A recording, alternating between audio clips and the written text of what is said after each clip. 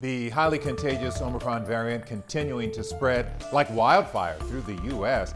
But health experts are seeing another disturbing trend people intentionally trying to get infected just to get it over with. If that thought has crossed your mind, here are five reasons why you should not purposely try to catch Omicron. Here's the first reason it is not just a bad cold. Health experts say even milder cases of Omicron can weaken you for days. A recent CDC study of over a million people found the risk of a severe illness was higher in vaccinated people ages 65 and up, those with weakened immune systems, and people who have chronic conditions like diabetes kidney, cardiac, or liver disease. Number two, some people who catch the virus suffer from what is called long COVID. These are debilitating symptoms that can go on for months, like loss of taste and smell, shortness of breath, severe fatigue, fever, dizziness, brain fog, and more. Reason number three, if you're not worried about your health, consider this. Just over half of children between the ages of 12 and 17 eligible for vaccines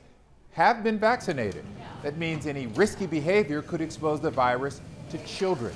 Just yesterday, we reported that more than 75 kids hospitalized with COVID at Texas Children's Hospital. And by deliberately catching COVID, you will keep this pandemic going and stress the healthcare system. Harris County Judge Lina Hidalgo says hospitals are already dealing with staff shortages, and now the county's bringing in hundreds of extra hospital workers to keep up with demand. Reason number five doctors say it's never a good idea to catch a disease on purpose.